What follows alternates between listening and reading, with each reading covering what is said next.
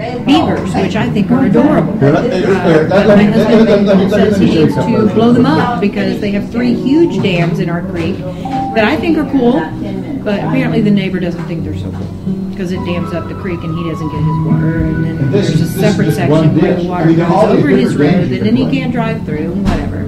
So they're like, we need to blow up those beavers. And I was like, they're so cute and fuzzy. What have they done to you? Like, we need to blow them up. Like, Watch it, we're gonna play that's tennis. nasty. Then my son, you know, he's like, I'm how much we serving- give for I'm those just serving, you're gonna return, I'm like, okay? yeah, you're not my son. And, and you don't have to hold anything down, but it's just like a rat. So, I don't know. I'm just all like, y'all aren't shooting any of the deer on our land. We feed them and we do not shoot the deer.